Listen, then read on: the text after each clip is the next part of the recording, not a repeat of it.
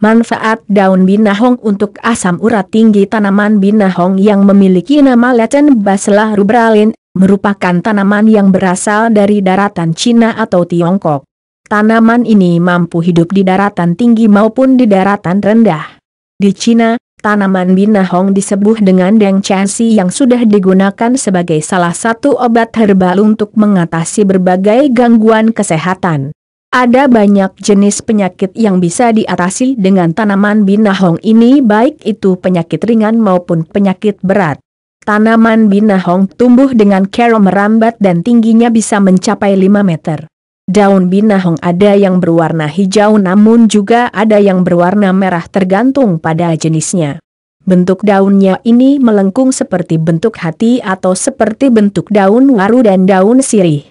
Batang tanaman binahong berwarna merah kehitaman dan membelit objek terdekatnya. Bagian dari tanaman binahong ini mampu dijadikan sebagai obat herbal.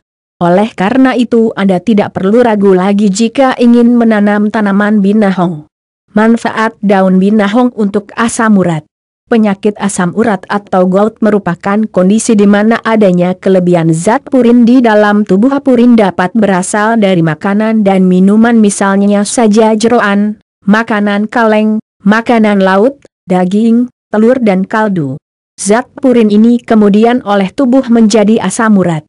Asam urat sebenarnya akan secara alami dikeluarkan oleh tubuh melalui mekanisme penyaringan di dalam ginjal dan kemudian dikeluarkan melalui urin. Namun jika zat puri ini berlebihan di dalam tubuh maka ginjal pun tidak akan mampu mengolahnya dengan baik dan pada akhirnya mengakibatkan penumpukan yang terjadi di bagian tulang dan sendi.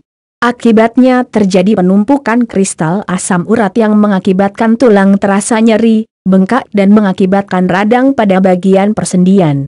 Setelah dilakukan penelitian, daun binahong ternyata mengandung banyak zat kimia bermanfaat seperti polifenil, olanotik, alkaloid, minyak asteri dan saponin.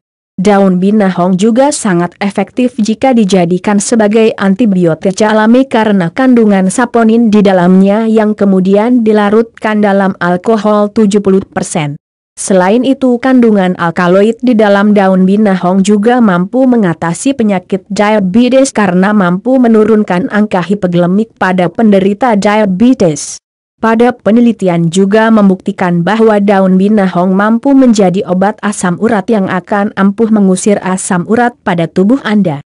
Cara mengolah daun binahong untuk asam urat setelah Anda mengetahui khasiat dari daun binahong ini mungkin Anda bertanya-tanya bagaimana caranya untuk mengolah daun binahong supaya bisa dikonsumsi. Sebenarnya Anda bisa membeli ekstrak daun binahong namun memang peredaran obat tersebut belum begitu banyak alias masih langka. Oleh karena itu sebaiknya Anda mengolahnya sendiri supaya lebih baik dan sehat bagi tubuh Anda. Bahan 20 lembar daun binahong yang masih mudah air matang 8 gelas cara membuat. Langkah pertama yang harus Anda lakukan adalah dengan mencuci daun binahong sampai bersih dan kemudian remaslah sampai daun binahong mengeluarkan lendir. Setelah itu rebuslah daun binahong tadi dengan menggunakan 8 gelas air dengan nyala api sedang saja rebus daun binahong tersebut sampai mendidih dan sampai airnya menyusut kira-kira menjadi 3 gelas saja kemudian setelah itu angkat dan diamkan sebentar sampai agak dingin. Kemudian saring dan ramuan daun binahong siap untuk diminum. Untuk mendapatkan hasil yang maksimal sebaiknya Anda mengonsumsinya sebanyak tiga kali sehari satu gelas tiap Anda meminumnya. Rasanya meskipun agak pahit namun harus tetap Anda minum karena akan membuat penyakit asam urat yang Anda alami menjadi sembuh. Jika Anda mengalami bengkak dan radang karena asam urat maka Anda bisa menggunakan daun binahing yang sudah ditumbuk dan kemudian dioleskan pada bagian tulang yang bengkak dan radang. Tanaman binahong ini sangat mudah tumbuh di rawa-rawa atau di tepi sungai, jadi mungkin Anda sering melihat tanaman ini namun Anda tidak menyadarinya. Tanaman ini memang suka tumbuh di mana saja dan mungkin tidak Anda sadari keberadaannya. Mulai saat ini jangan remehkan khasiat dari daun binahong ini ya, dan tetap jaga keberadaan tanaman binahong supaya bisa dijadikan sebagai obat herbal bagi berbagai masalah kesehatan Anda dan keluarga. Carol mencegah asam urat. Penyebab terjadinya penyakit asam urat adalah karena terlalu banyaknya zat purin dalam tubuh yang disebabkan oleh terlalu banyak asupan makanan yang mengandung purin. Oleh karena itu bagi Anda yang mengalami penyakit asam urat sebaiknya untuk menghindari makanan yang mengandung purin tinggi dan bagi Anda yang belum menderita asam urat juga bisa dijadikan tindakan pencegahan supaya tidak terkena penyakit asam urat. Berikut ini adalah daftar makanan yang harus menjadi pantangan bagi penderita asam urat.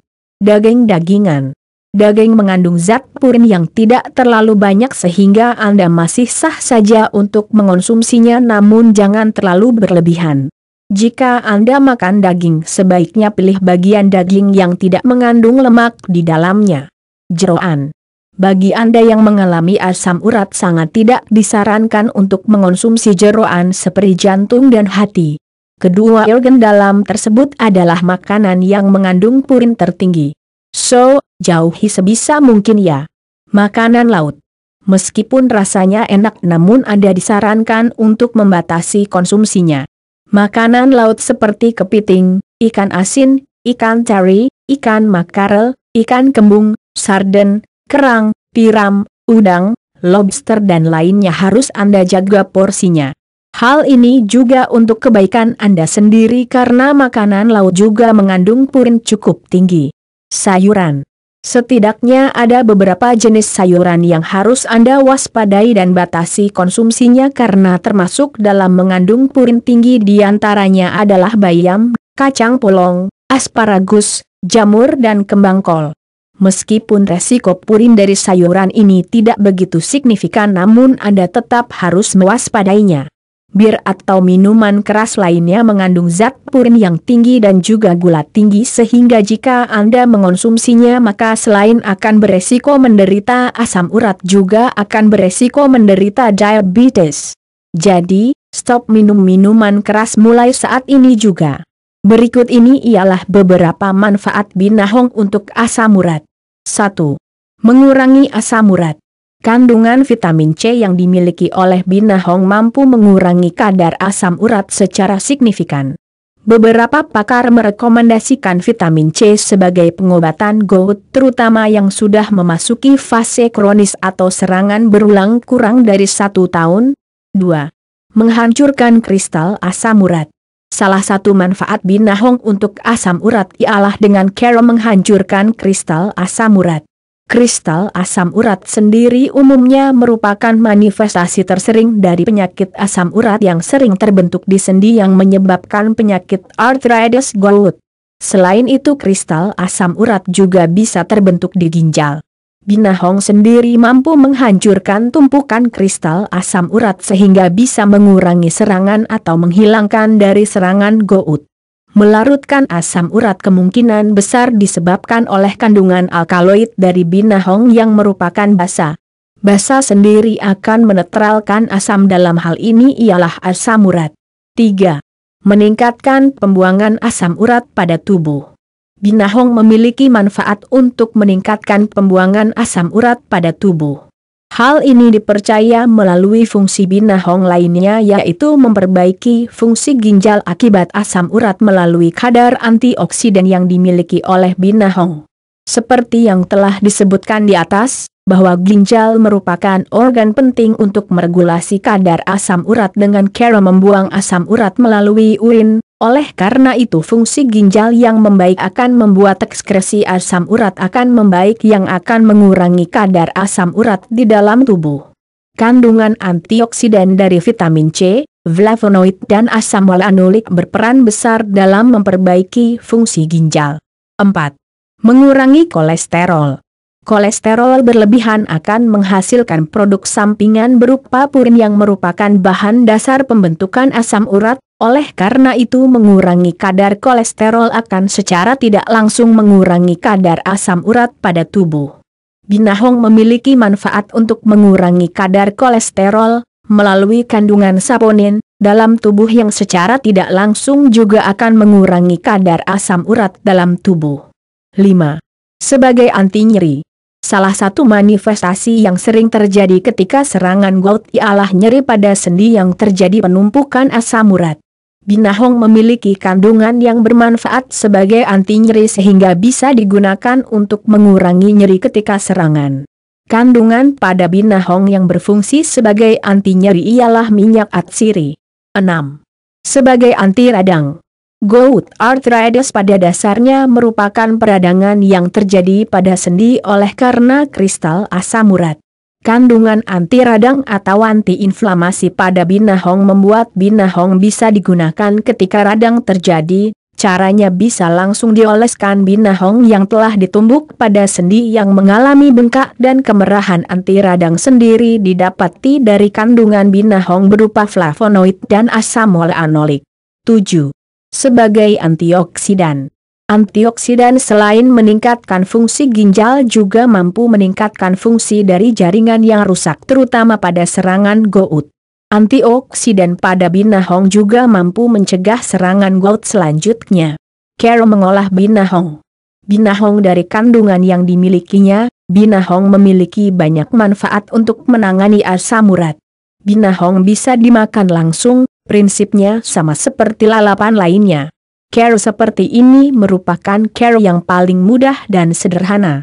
Care ini bisa digunakan sebagai pencegahan sebelum kadar asam urat naik atau sebelum serangan gout terjadi. Kadar binahong merupakan tumbuhan yang menjalar, sebaiknya dibersihkan sebersih mungkin dengan air mengalir. Selain dimakan langsung, berikut ini merupakan care lain yang bisa digunakan untuk mendapatkan manfaat binahong untuk asam urat. Care pertama. Bahan 20 lembar daun binahong muda air matang 8 gelas kero membuat. Membersihkan daun binahong sampai bersih lalu remas sampai daun binahong mengeluarkan lendir. Lalu rebus daun binahong dengan air sebanyak 8 gelas dengan nyala api sebaiknya sedang. Rebus sampai mendidih dan sebisa mungkin airnya menjadi 3 gelas. Angkat dan biarkan sampai dingin. Lalu saring ramuan daun binahong dan ramuan siap diminum. Care kedua. Bahan. 15 gram daun binahong madu secukupnya air secukupnya care membuat. Bersihkan daun binahong sampai bersih. Panaskan air dan madu secukupnya. Masukkan daun binahong secukupnya dan biarkan mendidih.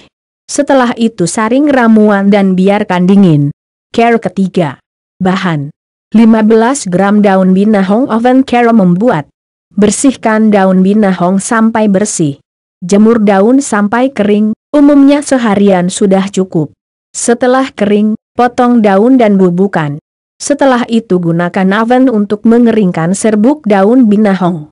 Gunakan suhu 50 derajat Celcius, biarkan hingga kering dan tersisa sekitar 10% kandungan air dalam serbuknya. Masukkan ke kantong teh celup. Seduh seperti membuat teh. Manfaat dan care pengolahan binahong bisa berbeda-beda.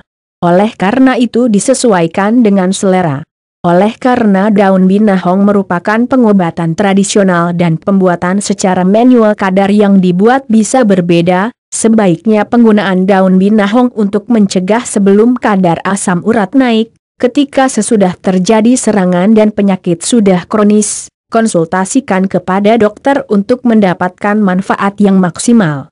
Demikian ulasan mengenai manfaat daun binahong untuk mengatasi asam urat dan juga berbagai jenis makanan yang menjadi pantangan bagi penderita asam urat. Semoga bisa membantu Anda dan semoga bermanfaat. Terima kasih.